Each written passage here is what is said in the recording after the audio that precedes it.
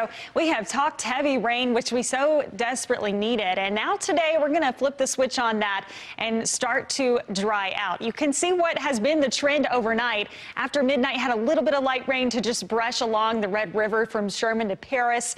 A little bit of that still left over. But as you can see, most everybody else is going to be dry. And your drive into work or to school looks like a good one as we will keep this setup going. The widespread showers and storms are certainly going to stay north across Oklahoma moving up into Missouri. Meanwhile, high pressure starts to build back in here to DFW, and we will be talking sunshine with warmer temperatures as well.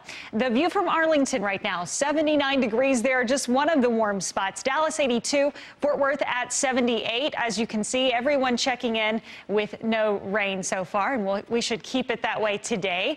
81 for Greenville right now, Waxahachie 77 degrees, Mineral Wells 74, and Bridgeport Bridgeport checking in right now, 79. So it does start off warm, but that's just the start of it. Look what happens through the day today. Those clouds from the rain starting to lift off, and we will see a lot more afternoon sunshine. Temperatures popping up into the mid 90s today, but our humidity is going to be so high, it'll feel like about 100 later on this afternoon.